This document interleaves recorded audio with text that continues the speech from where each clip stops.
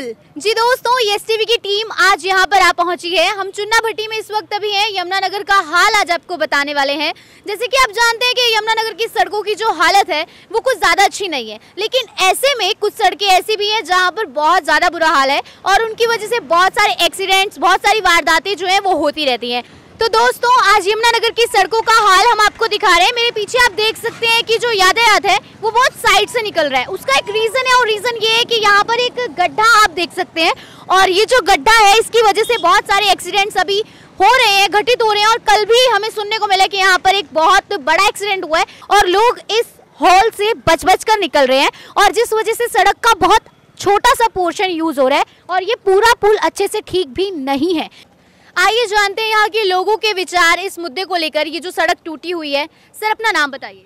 मेरा नाम हरप्रीत सिंह है। ये देखो गंदगी कितनी है। ये देखो आगे ये गटर रुके हुए हैं। सीवर ज़रूर डाले हुए हैं। सीवर की जो सी होदियाँ ना इतनी छोटी हैं गंदगी जो सी बाथरूम की गंदगी है ना वो भी बाहर आती है। लैट्रिन तो आती आती है। कहने का मतलब है यहाँ रहना बहुत ही हमारे लिए बहुत औखा है। सर आपका नाम? विशु गोयल। अ, सर आप इसी कॉलोनी में रहते हैं। हाँ जी।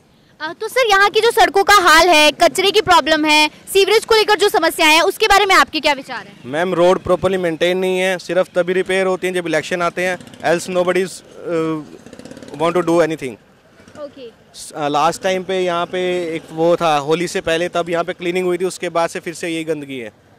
मतलब आप ये कहना चाह रहे हैं कि कुछ समय समय पर यहाँ पर सफ़ाई अभियान चलाया जाता है और चीज़ ओकेजनली सफ़ाई होती है अदरवाइज़ कोई सफ़ाई नहीं होती। अ, तो सर यहाँ पर रहते हुए इलेक्शन आ जाएँगे तो सफ़ाई होगी और रोड भी मेंटेन हो जाएगी अदरवाइज़ ये रोड देखो आप टूटी पड़ी है पूरी।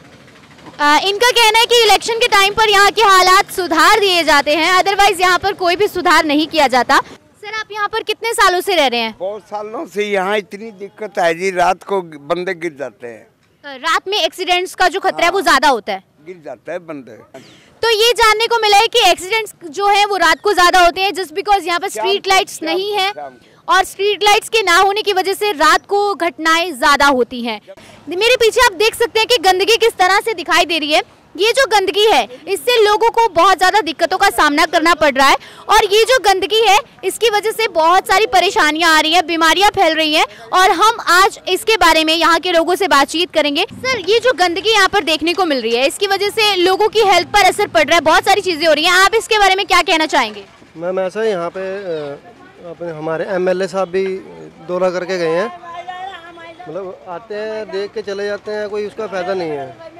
हमें भी ये अभी आप दो घंटे रुक जाइए ये नाला ऐसे कैसे चलेगा क्योंकि यहाँ डायरियाँ हैं और कुछ नहीं है। डायरियों का सारा गोबर ये आपके सामने ही है वो सारा आ रहा है उसमें और कुछ। हाँ जी माता जी अपना नाम बताइए। शारदा। शारदा जी। शारदा जी गंदगी को लेकर आप क्या कहना चाहेंगे? जैसे कि इस मोहल्ले में बहुत गंदगी हम देख रहे हैं। ज़्यादा है बहुत ज़्यादा मतलब। सामने गली में तो इतनी गंदगी है नहीं। हर तीसरे दिन में इतना कूड़ा नाले के अंदर से तुम नाले तो देख के आओ। तुम्हारा खड़े होने की भी आत्मा नहीं करेगी कि हम खड़े रह सके दो मिनट। इतना गंद है। और इतने मच्छर, मैं तुम्हें, इस टाइम में जनवरी के महीने में इतना मच्छर अंदर घूम रहा है। क्यों गंदगी की वजह से? पीछा नाला है, उसकी वजह से इतना मच्छर है।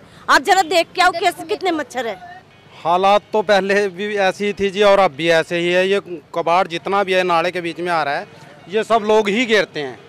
इस चैम्बर को निकालने के लिए मेरे को तीन बार या चार बार निकालना पड़ता है जी। अब मैं, अब क्या कर सक, क्या सकता हूँ जी? मैं तो अपनी तरफ़ से पूरी मेहनत करता हूँ जी। बाकी लोगों का सहयोग नहीं है मेरे साथ में। आप कहते इनका कहना है कि लोगों का सहयोग इन्हें नहीं मिल रहा है ये अपनी तरफ़ से पूरी मशक्कत कर रहे हैं लेकिन अगर लोगों का सहयोग मिलेगा तो सफ़ाई को और भी चार चाँद लग जाएँगे। मैम आप अभी बोल रहे थे कि आप लोग सहयोग करते हैं और जैसे कि इन्होंने बताया कि सहयोग नहीं मिलता है इस बारे में आप क्या बोलना चाहेंगे? नहीं जी जमादार कभी नहीं आता हमारे घर में सफ़ाई वाले आते ही नहीं है। कभी कहेंगे भी तो कहेंगे ना जी हमारा तो लंच का टाइम हो गया। हमारी गली में तो कभी नहीं आते। कितना मर्ज़ी कर लो। कई कितना ही करते जितनी है तो झूठ है कि ये हम आते हैं नहीं कभी आते हैं। ये चैम्बर आप लोग निकालते हो। ये चैम्बर आप लोग निकालते हो। इस चैम्बर का मैं कोई मतलब नहीं इस चैम्बर से आपको मतलब नहीं आपके घर तक गंदगी जाएगी इस चैम्बर से। हमारी गली साफ़ होनी चाहिए ना। गली में आपके झाड़ू नहीं लगता? नहीं लगती हमारे वहाँ नहीं लगती। आके देखो हमारी गली देखो आगे। हमारे दरवाजे पे देखो कितना गंदा है। आपकी? ये छोटी गली गली हमारी। लोगों का कहना है कि वो पूरा सहयोग दे रहे हैं। वहीं सफ़ाई कर्मचारी ये कह रहे हैं कि वो पूरी मेहनत कर रहे हैं, लेकिन उसे सहयोग नहीं मिल रहा। अब सच क्या है, ये जानने के लिए हमें थोड़ी सी मेहनत करनी होगी। आइए चलते हैं उस गली में जहाँ की इन्होंने बात की है और देखते हैं कि वास्तव में सच्चाई क्या है। हमारी गली का हाल कितनी टूटी फूटी पड़ी है। सबकी गली बन जाती है लेकिन हमारी हर बार कह जाती है कि बनेगी बनेगी, लेकिन आज तक कोई आया ही नहीं बनाने वाला सफ़ाई वाला आया कभी। कभी नहीं आता कितना मर्ज़ी उनको बोल दो, उनका कोई मतलब नहीं है कि हाँ सफ़ाई भी होनी है, घर की ये गली की कि नहीं होनी है। हाँ सब कह दे आ करा देंगे करा देंगे, कोई नहीं आता इलेक्शन के टाइम आएँगे वो बस। ऐसी सफ़ाई कर कर कर्मचारी सिर्फ़ अपनी ड्यूटी पूरी कर रहा है। इससे सफ़ाई बिल्कुल नहीं हो रही, क्योंकि इस गंदगी में जो मच्छर पैदा होंगे, उन मच्छरों से बीमारियाँ पैदा होंगी, जो कि लोगों के स्वास्थ्य को नुकसान पहुंचाएगी।